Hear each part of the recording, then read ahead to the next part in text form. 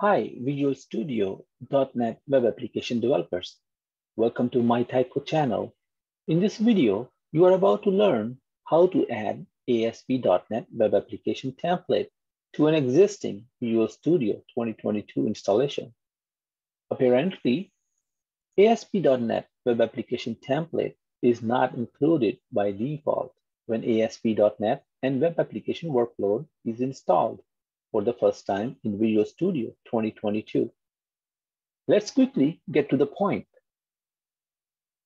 If you open Visual Studio 2022 and want to create a new project, you will notice when you type ASP.NET Web Application, the template is not there. So in this video, I'm going to show you how to add the template. Close Visual Studio Now open Visual Studio Installer by typing in the search box of Windows 10.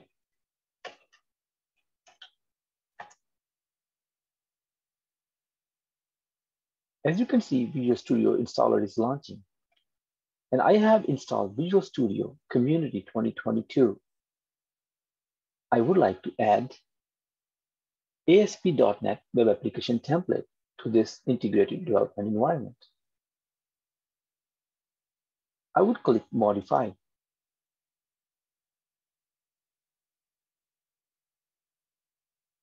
As you can see, the ASP.NET and web, web development is selected. Next step is to click on ASP and web development. In order to add ASP.NET Web Application template, I have to include the .NET Framework project and item template. Therefore, I will click to include it. As you can see, it needs additional space on my hard drive, which is 10 MB. I prefer to use download all then install.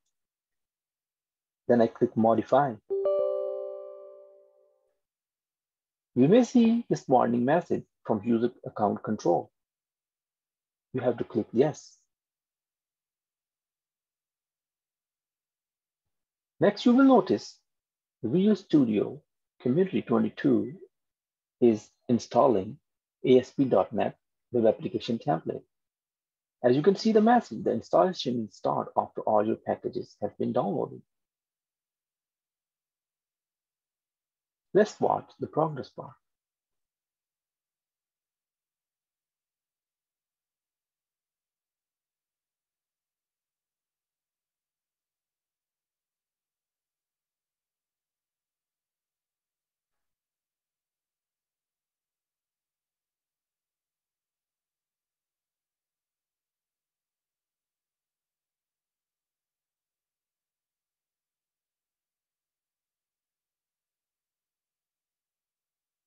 As you can see, installation has been concluded.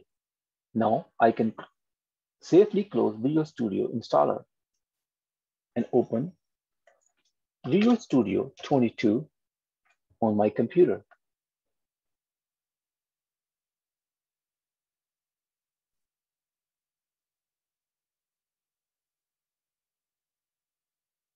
Once the Visual Studio is open, what I have to do is click on File, New, Project.